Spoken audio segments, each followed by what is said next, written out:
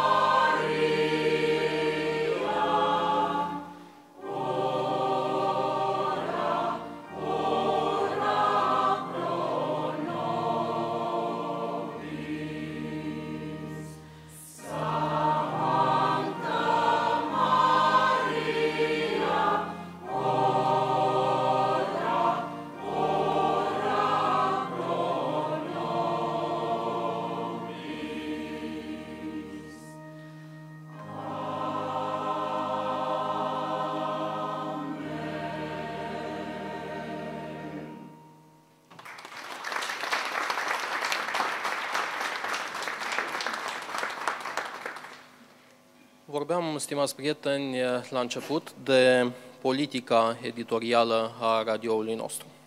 Acest moment, din această seară, precum și ceea ce înseamnă, ceea ce înseamnă ansamblul vieții spirituale la Radio Iași, îl datorăm și deschiderii pe care conducerea Radio Iași o manifestă pentru acest segment. Permiteți-mi să-l invit cu rugămintea de a ne transmite câteva cuvinte pe domnul Nicolae Tomescu, redactor șef al studioului regional de radio Iași.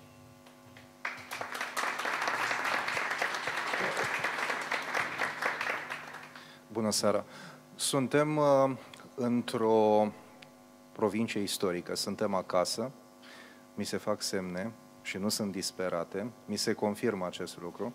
Suntem în bloc producție Radio Iași și acest uh, spațiu hrănește toate formele de artă. De la cele mai tradiționaliste până la cele mai puțin convenționale. Și uneori greșit percepute ca fiind periferice. Iată de ce pot și cred că ar trebui să dezvolui următoarele puncte strategice. Sunt pentru un tip uh, de radio care cultivă multe genuri publicistice care să permită abordarea directă eliberată de un ton neutru, semipasiv, un ton uh, pretins academic. Sunt pentru trecerea într-un registru interactiv, cu stil prezent și viu, care să incite. Ascultătorul poate să compună singur meniul radio, fidelizat pe anumite preferințe, ceea ce înseamnă posibilitatea de a avea întotdeauna altceva de audiat. Ideea de feedback permanent presupune faptul că din faza de proiectare, grilele și formatele, nu vreau să intru într-un uh, detaliu tehnic, uh, răspund unor cerințe, unor nevoi, așteptărilor publicului, dorințelor și intereselor, uh, receptorilor destinatari și partenerilor beneficiari. La fel de importantă din punct de vedere strategic este și implementarea ideii de proiect.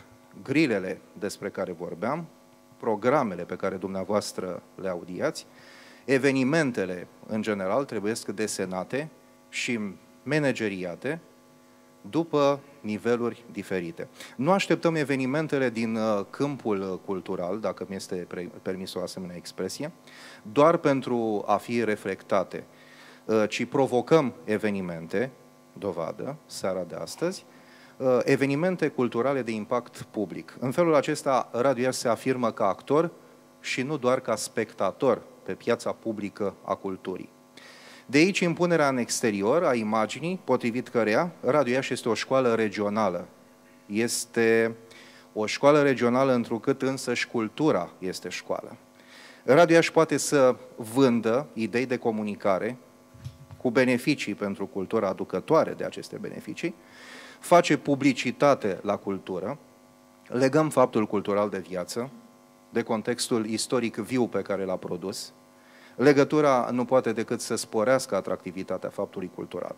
Prezentat în sine, din punctul meu de vedere, acesta moare. Ar putea să nu intereseze pe nimeni, chiar într-o manieră de care uneori nu suntem conștienți.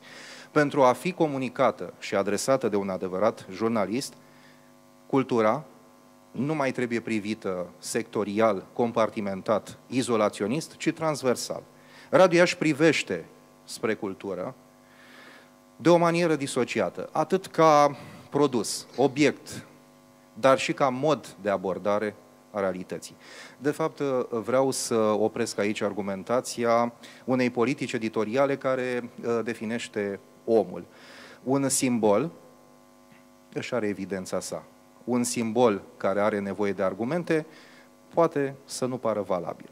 Astăzi, 26 octombrie 2011, inspirând, râvnind la tot ce este divin, muzica de cor din bloc producție Radio Iași poate da aripi sufletului încorsetat de terestru. Un uh, mijlocitor între cer și oameni, aducător de beneficii, hmm, un cuvânt nu tocmai potrivit, de dorință de frumos, bine, precizie, dar mai mult fericire, perfecțiune, toate aceste atribute, a căror uh, răsfrângere o simțim la aniversarea Radio Iași 70. Vă mulțumesc și vă doresc audiție plăcută.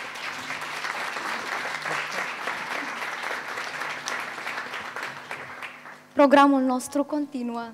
Corul mare al parohiei Sfânta Tereza a Pruncului Isus va interpreta Gloria din misa in honorem Sancti Spiritus de Zingenberger, imn în cinstea Sfintei Tereza de Karl Wolf și Chirie din misa de Charles Bordeze.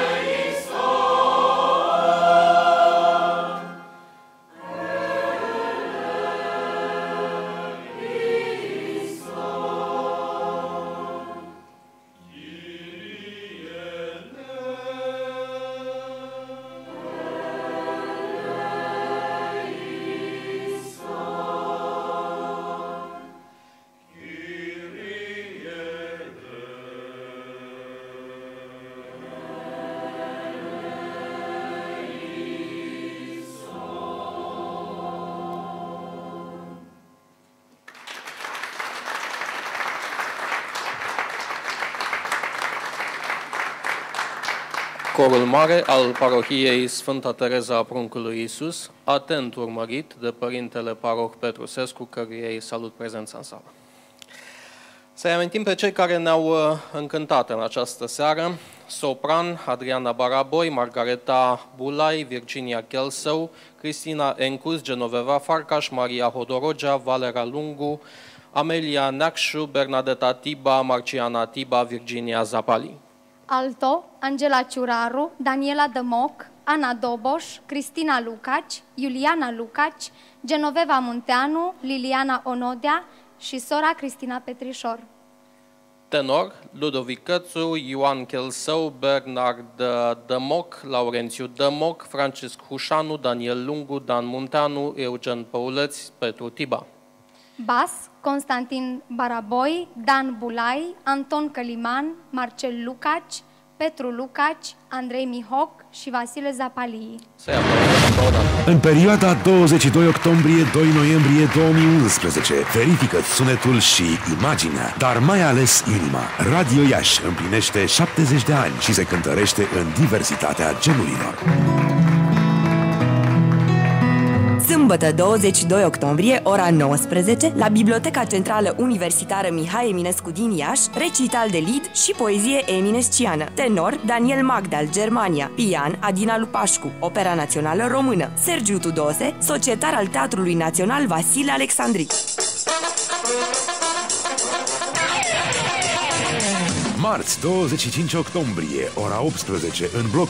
Din bloc producție Radio Iași, pe toate cele trei frecvențe, 1053 kHz unde medii, 90,8-96,3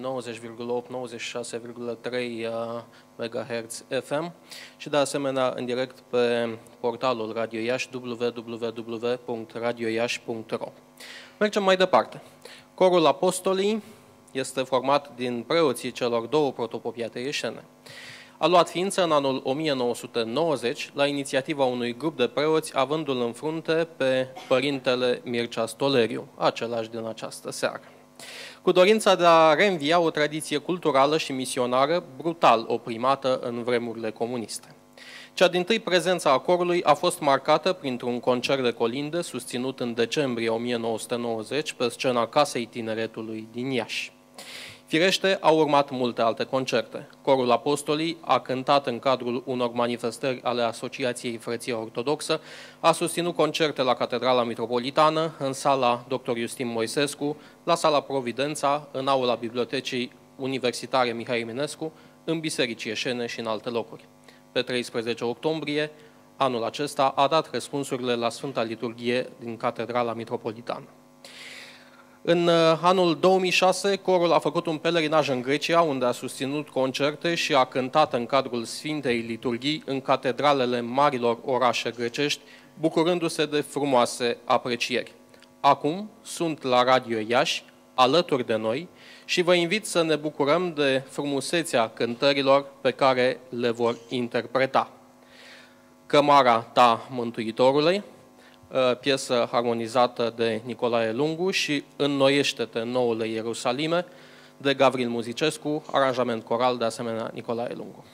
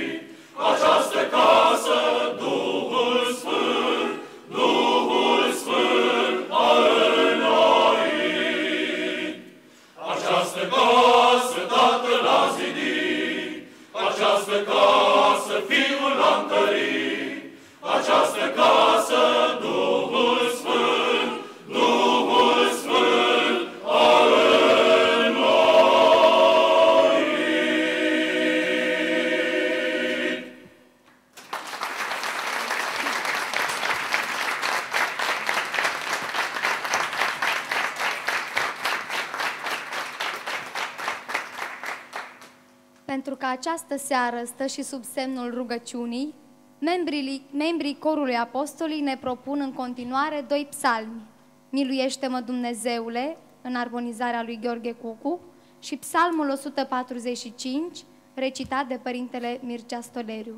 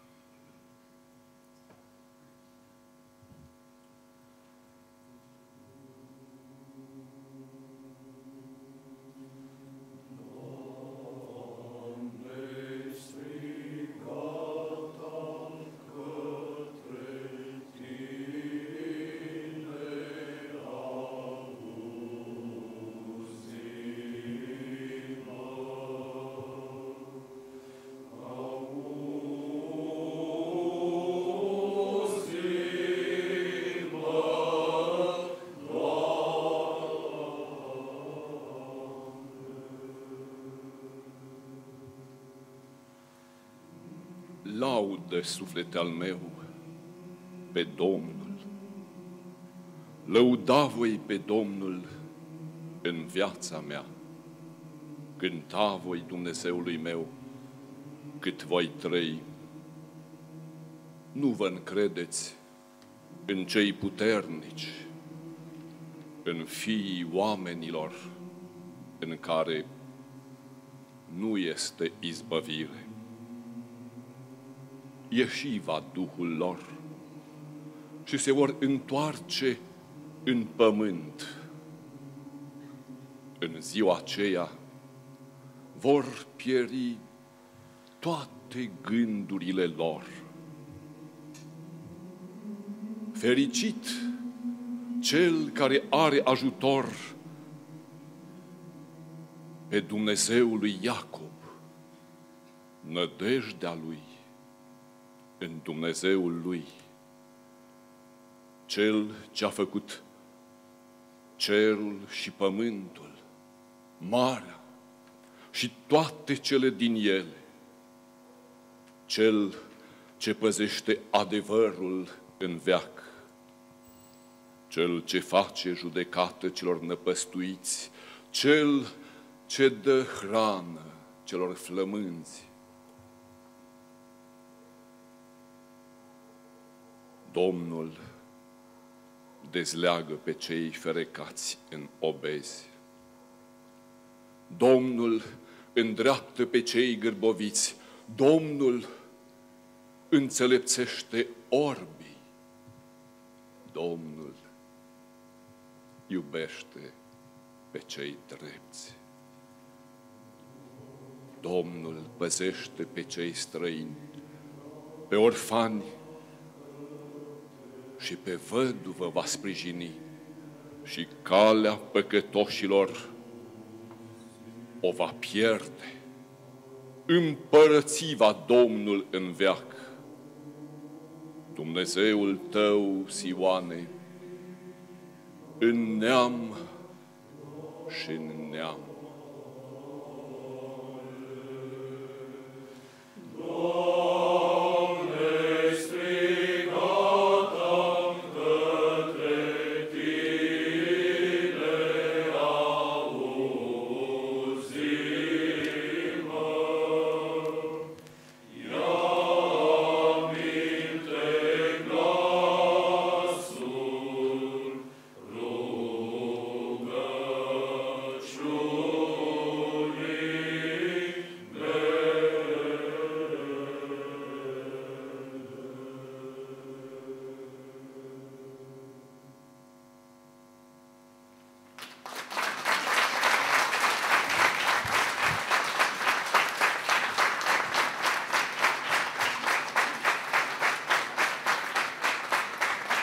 Părinte, Părinte Stoleru, aici. Stimați uh, spectatori, dragi ascultători, nu vă închipuiți cât de mult așteptam eu acest moment. Părintele Stoleru mi-a fost profesor de muzică și întotdeauna, cât am fost student și după, am trăit cu impresia că mi-a adresa mult mai multe întrebări decât celorlalți colegi.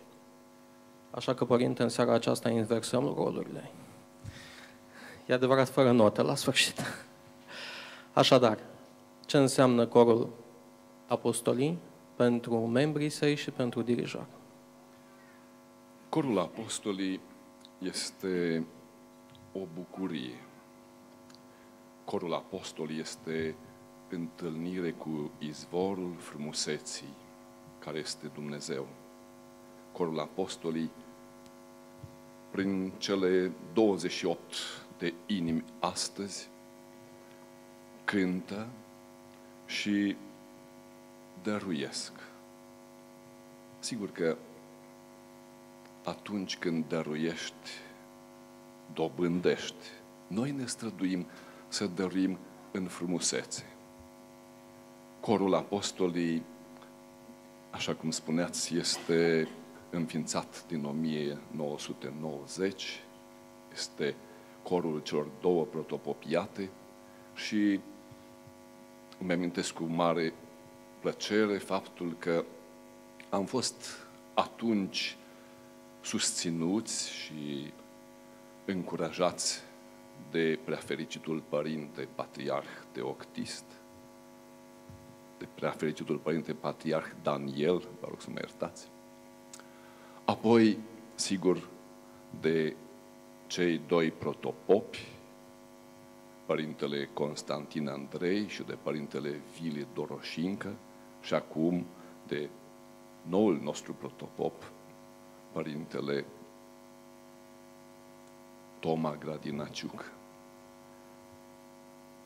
Corul se întâlnește într-o bucurie a frățietății și convertește această bucurie atunci când ne întâlnim în rugăciune și în dar. Stați că mai am o întrebare. Este muzica religioasă o modalitate de manifestare a credinței, de propovăduire a ei. Iată, corul se numește apostolii, iar apostolii sunt, în excelență, propovăduitorii ai Evangheliei. Da, sigur. Iată, vedeți, este un cor al slujitorilor, altarilor. Și corul care a fost înainte cântă în biserică. Ce minunat când te apropii de biserică, întâi o percepi ca pe o construcție și cel din tâi lucru este arhitectura, artă, care te impresionează. Acolo apoi întâlnești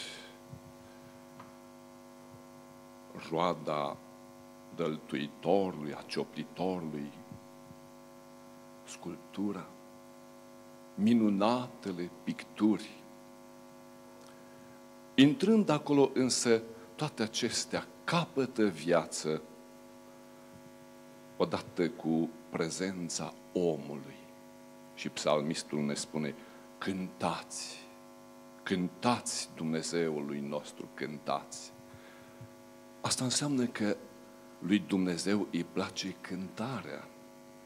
Și rugăciunea are aceste modalități de a fi rostită sau de a fi cântată. Valoarea ei este identică înaintea lui Dumnezeu.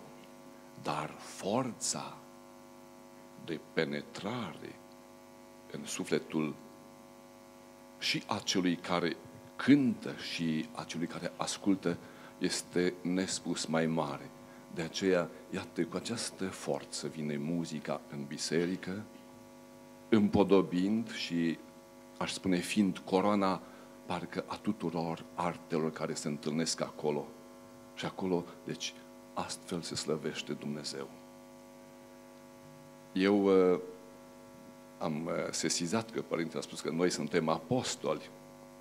Mă bucur însă astăzi că suntem invitați la Apostol de Radio Iași, care sărbătorește o cifră rotundă, frumoasă și uh, cred că nu greșesc cu nimic când spun că postul de Radio Iași, prin uh, comparație cu ceea ce este prin alte părți, își merită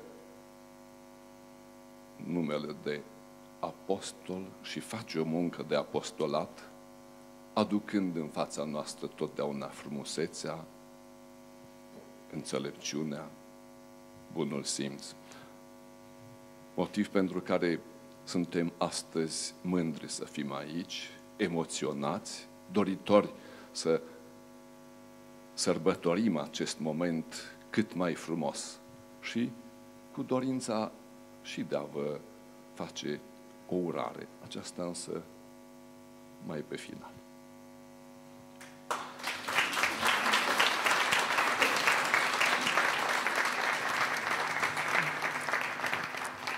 Mai urmau câteva întrebări, dar părintele deja s-a retras, îl lăsăm.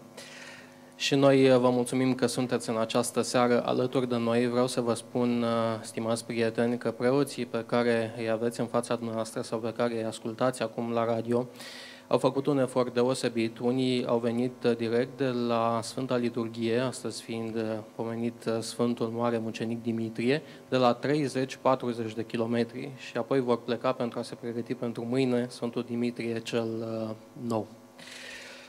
Vreau să vă anunț, stimați prieteni, că vom fi în transmisie directă pe toate cele trei frecvențe, 1053 kHz unde medii, Radio Iași Clasic și 90,8-96,3 MHz FM până la ora 18. Dar spectacolul nostru va continua aici în bloc producție Radio Iași, așa că dacă sunteți pe aproape, încă mai aveți timp să ajungeți sau uh, dacă aveți un calculator conectat la internet, ne puteți urmări în continuare pe www.radioiași.ro Programul muzical continuă cu răspunsurile mari de compozitorul Gheorghe Cucu și pre tine te lăudăm lucrare psaltică.